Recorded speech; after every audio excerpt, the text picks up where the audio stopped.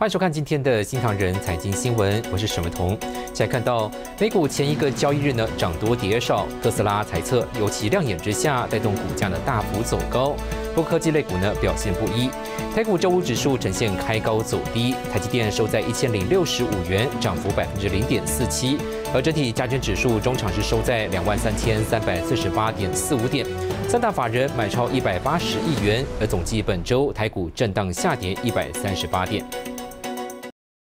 好，带你看到国内新宇航空成功挂牌，写下 IPO 市场多项新纪录。上市首日呢，收盘价涨幅就超过百分之五十三。董事长张国伟表示，新宇航空一路走来风风雨雨，但不畏艰难，也说明接下来公司的下一步计划。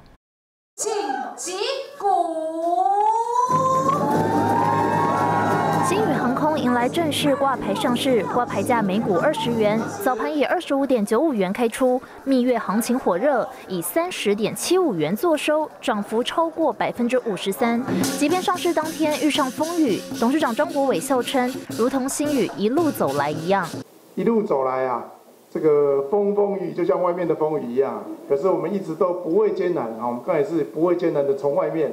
哎，就这样走进来了啊。对啊，代表啊，这个今天的这个写照啊，就代表我们一路的进程啊。虽然沿路啊风雨交加，我们还是屹立不了，哎，然后面不改色的这个非常不要脸的就走进来了，啊，这个代表啊我们台湾人的韧性。新宇航空成功挂牌，写下 IPO 市场多项纪录。不仅是近十年上市公司资本额第一高，上市前竞拍七十四点四亿刷新纪录，公开申购受到青睐程度前所未有，超过百万笔的申购，中签率只有百分之二点四八，就连粉丝都抱怨太难抢。那至于这次啊，很抱歉呐哈，因为其实我个人当初也没有想到反应这么的热烈的哦，所以我知道很多支持我们新宇航空的。这个啊，同同仁啊，没有办法哈，有在这次机会有参与到，陆续还是会有很多这个增资的机会，哦，那陆续的增资来讲，大家还是到时候还是有机会。表示上市是新宇重要里程碑。张国伟透露下一阶段扩张计划，原有航点增班下开设欧洲航线，预估将五架货机选择权转为确认订单，以及初步还有十架长城线飞机需求，并相当看好中转市场。现在因为供应链的问题，其实东南亚对美国的这个需求啊，比比以往我觉得会更大哦，不管在货运或在客运部分，所以啊，我们陆续的也开始会介入货运市场。啊，那所以我们初期已经有在今年初已经签了五架的这个呃三五零货机。是否加入国际机队联盟也是新宇迷关心的事情。不过 K 董说联盟不是唯一策略，搞不好加入华航所在的天河联盟或是长荣所属的星空联盟，但也未必非加入不可，留个悬念给外界猜想。新腾亚太电视林玉堂、曾新敏，台湾台北采访报道。好，继续来看到，南韩三星电子再度失去订单。Google 旗下的 Pixel 系列智慧型手机内建的刻制化天色处理器，原本是委托呢三星电子代工，但传出呢改由台积电来制造。而最新消息更显示，这些委托台积电代工的处理器是有望采取跟苹果 iPhone 处理器相同的制程技术，也就是台积电主打的三纳米等级 N 三一制程代工。外媒彭博社报道，台积电负责美国分部资深副总经理凯西迪二十三号在一场网络直播对听众表示，亚利桑那州厂区的晶片良率比台湾同级厂房高约四个百分点，而台积电可能有意进一步呢扩大美国布局，部分取决于政府是否会提供更多补助。他说，目前凤凰城厂区还有空间，可容纳至少六座晶圆厂。而对此，台积电也声明表示，我们的第一座晶圆厂于四月呢进入采用 N 四制程技术主生产，而且成果非常令人满意，具备非常好的良率。而这是台积公司与客户的重要里程碑，展示台积公司强大的制造能力和执行力。好，不过近期市场传出中国企业试图用间接的方式以第三地取得台湾高阶晶片。我们，请教智普产业趋势研究所执行副总林伟志，怎么观察这起事件？似乎也凸显中国半导体产业呢，实际上面临难以突破的困境。事件是否将促使美国等国提高对中国半导体的围堵力道？请教您看法。好的，谢谢主持人。那我们的看法是，目前就我们的观察，中国大陆这个地方，它的呃先进制程的被限制的情况其实非常严重。那他们尽力用他们制成的方式来突破这些 process window，扩大 process window，让呃降低他们被限制这些先进机台没有先进半导体设备没有办法拿到的的困境。但是这其实是有限，所以大概目前碰到的大概已经是他们的呃上限，已经是他们的瓶颈了。那所以在先进制成的晶片这一块，他们还是非常的缺乏。那因此呃我。我不确定是不是他们透过第三方来购买，但是呃，台积电我相信它是一个非常呃正直而且守法的公司，所以就所有的清单的名单上面，呃，不能出给的呃。呃中系的公司他们是会呃一五一十的 follow，这是我非常相信的事情。那至于接下来美国呃的部分，可能会依据他们的政策或者是策略整体的考量，呃，势必会有一个限缩的情况。那可能会要求台积电提供一些呃像是客户的背景的清单的调查，甚至美国还会在加强禁制令，或者是进一步的对现在先进的。封测的材料或者是设备做限制，这都是有可能发生的。所以，就副总研判哦，因为时间点其实相当逼近美国总统大选，当然不免外界是有些猜想。不可以预料呢，是否美中在科技战之间的竞逐哦，可能会更加激烈。呃，目前的态势观察起来，美国跟中国的竞争，其实不管是呃贺锦丽或者是川普当选，这个竞争的态势，呃是不会减少，只会继续的增加的。所以在这态势的情况下，那美国对中国的禁制令越来越严格，其实也是呃意想得到的事情。那身为台湾，呃，身为全球最先进、唯一的能够供应先进晶片的一台积电来说，那势必也会造成一些不小的冲击。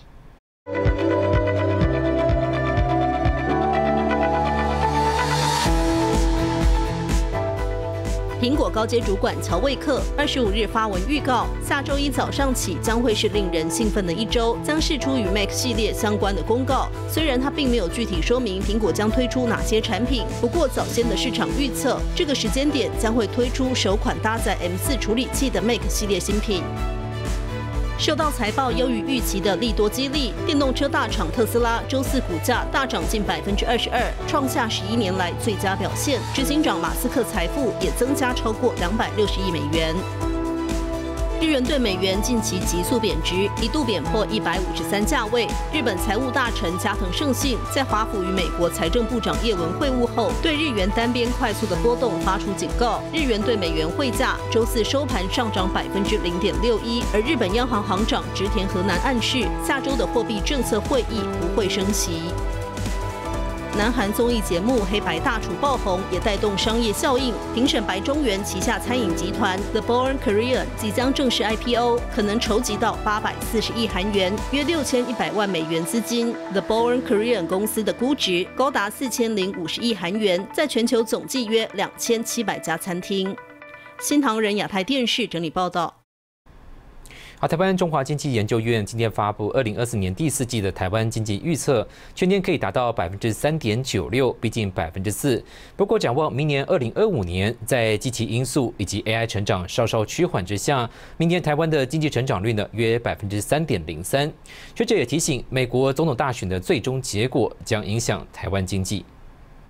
台湾成为全球 AI 最重要军火库，台积电股价持续站稳千元，国发会景气灯号更是持续开出热络的红灯。中经院预估，二零二四年台湾经济成长率上看百分之三点九六。啊，虽然还没有到四，可是其实是表现相当的不错。那在这个里面，其实最重要的大概就是整个 AI 的产业。全球总体经济二零二五年却可能出现转折。国际货币基金 IMF 二十二号最新报告。明年全球经济成长从百分之三点三下调零点一个百分点至百分之三点二，美国、中国、印度都是下修，台湾也被下调预测。中经院预估，明年台湾经济成长百分之三点零三，较今年放缓，主因全球经济走势持平。台湾和美国的巴菲特指标呢，一般认为说超过两百呢，可能就会过热。现在的话，当然就是超过两百的一个情况，就是反映说台股或者是美股应该居高思稳呢，可能就是需要再观察。台湾的 AI 产业，我们预估还是会继续成长，不过成长的幅度应该是会慢慢的往下降。美国两党候选人政策走向明显不同，川普主张大幅降税，青睐传统能源，对外提高关税；贺锦丽则倾向着重绿色能源产业，并协助中小企业。国总统大选的结果，那它一定会影响到我们的经济哦，因为呃，整个不论是利率政策，或者是说整个美国的产业政策，一定会对台湾造成非常大的影响。不过，我想呃，有关于台湾在半导体的产业到在 AI 的部分，应该会持续。具有这这个动能，大选牵动全球经济，中经院力挺台湾半导体 AI 动能依旧能够延续。新台电视胡宗汉、沈伟彤，台湾台北报道。好，另一家台湾经济研究院呢也发布景气动向调查报告，数据显示，九月份三大营业气候测验点呢是持续下滑，而当中制造业的部分是为九十四点八二点，下滑一点七三点，是连续四个月下跌，而服务业与营建业呢则是连续三个月走弱。不过，报告指出，随着美国、欧洲央行步入降息循环，有助于消费和投资动能回升，而制造业厂商对未来半年的景气看法，相比上个月呢是有转好迹象。好，带你看今天的产业动态。中钢今年累计前三季合并税前净利三十六点四亿，年增百分之九十八，合并营收呢收入是两千七百三十九点四亿元。福茂油经营权争夺战白热化，预计下个月二十二号在股东临时会呢全面改选董事，而目前董事以及独董被提名人的名单就高达二十四人，明显超额提名。连锁餐饮集团竹间集团宣布进军日本，在大阪开设新的烧肉品牌，开启第二个海外市场，挑战全球总店数突破两百家。另外，欧盟目标在二零二七年将碳定价涵盖率达到百分之八十五。华界部长彭启明坦言，要跟着国际趋势走，可能会透过油价及电价来反映成本。好，行政院长卓荣泰二十五号赴苗栗视察桃竹苗大溪谷推动方案，允诺会解决未来科学园区的水电供应问题，同时也透露呢未来台湾五大区域均衡计划。这是我们刚刚提到，行政院长卓荣泰来到苗栗与县长钟东锦一同视察。行政院九月通过桃竹苗大溪谷推动方案，当地可开发科学园区面积四百零二公顷，可开发产业园区共一千五百八十二公顷。以科学园区为中心，计划以半导体、AI 串联，中台湾也要建构科技廊带与完整产业链。所以我们要来解决的就是水电跟交通的问题，这个才是对于未来整个大溪谷计划很根本的运作起来要顺畅的。所以深度的节能跟科技的储能，另外还要加强电网韧性的强化。水电问题，周润泰表示，将从开源、节流、调度、备源等四个方向改善电力发展多元绿能，从地热、氢能分头进行，要推动深度节能、储能科技。柯奎也呼应均衡台湾愿景，表示北北基有基隆河河谷廊带计划，桃竹苗有大溪谷计划，中彰头有智慧计划，于嘉南则有沙仑 S 廊带计划，并串联到高平，而华东则有慢经济计划。这是一个整套计划弄起来，台湾的地图会跟现在不一样。形状也许一样，但内容会更充实。所以赖总统一直在健康台湾跟军人台湾这个两个理念之下，会设立创造很多未来政策发展的目标。那这个我们都会逐步的来推动。中台湾未来也肩负重要任务。中泰继续桃竹苗大溪谷计划在既有基础上连接世界与在地技术，形创能量，带动园区全力进步。新唐两台电视林秋霞、高建伦、沈维彤，台湾苗栗报道。下期新闻重点：中国债务危机，地方债违约估计超过二十五兆，创下新高。休息一下，马上回来。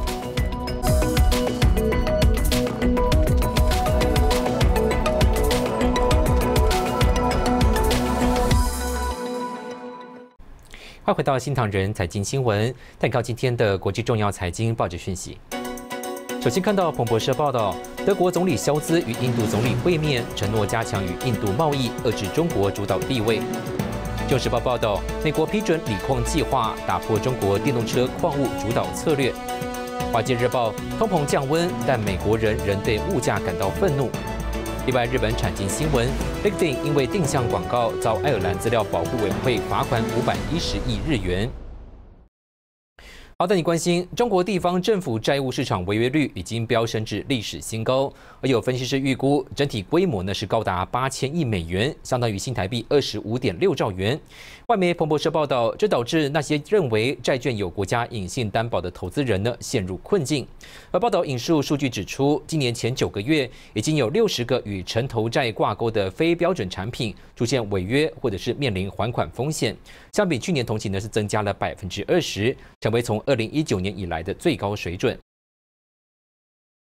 好，继续关注中国消息。随着国际金价呢持续上扬，中国黄金饰品的价格今年也屡创新高。不过，中国经济下行、消费降级，加上电商低价竞争，导致大量的金店倒闭。知名的品牌金店周大福就公告，近三个月在中国关闭了一百四十五家门市。香港知名珠宝品牌周大福十月二十二号公告，七月一号至九月三十号销售比去年同期下降百分之二十一。这三个月在中国关闭一百四十五家门市。金店老板披露，中国经济下行，各行各业生意都不好，包括品牌金店在内的很多门店关门倒闭，生意都被报价更低的电商抢走。品牌金店卖不动货了，关门倒闭。现在黄金这么贵，老百姓不买。网络创造出了这些没工费的不正常的东西出来了，卖的便宜。咱们不像银行，也不像品牌金店，他们利润高，咱们是贴近盘价，没工费，生意特别好。金店老板表示，国内黄金报价一克是六百二十元，品牌金店加上基本工费六十元和各种成本后，报价八百元，远高于电商，所以生意一落千丈。开个门店啊，假如两三百万干黄金的话，都看不到什么货。是吧？要个一八九百万的黄金，要个一千多万、几千万的黄金在那个地方，像房租费、人工费很贵的，门店一个挣一百多块钱，很正常的，也是很良心的，大家不缺。现在做生意利润会越来越低，各方面控制成本也控制很严。深圳水贝黄金批发市场为中国黄金珠宝产业规模最大的制造加工中心，有近万家黄金珠宝店家。随着网络直播卖货兴起，成为网红圣地。因为金价飙涨，很多店家倒闭。今年出事儿很多，倒店都是因为买这个黄金的涨跌，赌行情赌破产了。今年很多人感觉黄金涨这么高了，肯定要跌了，谁知道一直涨到六百二。深圳那边干黄金干破产的很多。都是炒黄金股市炒的。金店老板分析，受人民币超发、通货膨胀、地缘紧张局势和美国降息等因素影响，金价看涨，不断刷新历史新高。可能大方向还是往上，这个市场有风险，很容易亏。玩短线一定要时刻保持清醒的头脑，不要跟风。当然，市场情绪起来的时候冲进去，韭菜全部进来了之后，大佬已经跑了，韭菜全部来不及跑。新唐人电视台记者熊斌、中原采访报道。下期新闻重点：疫后出国不退烧，旅游电商连两年营收创下新高。休息下，马上回来。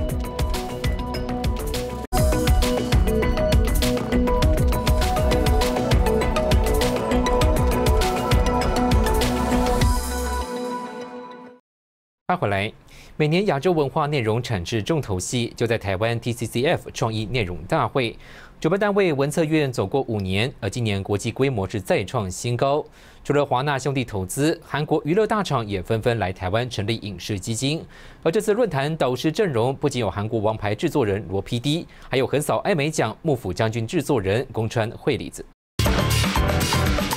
二零二四台湾文策院 TCCF 创意内容大会规模再创新高，今年首度由松烟移师南港展览馆，即将在十一月盛大登场。文策院董座蔡家俊直言，国际展商规模空前，韩国更是高度关注台湾市场发展。文策院其实在最近会跟韩国的 CJ 哦，即将要成为成立一个影视基金嘛哈。那其实我们刚从釜山回来，其实除了 CJ 之外，还有好几个大型的娱乐集团都跟我们在谈类似的合作。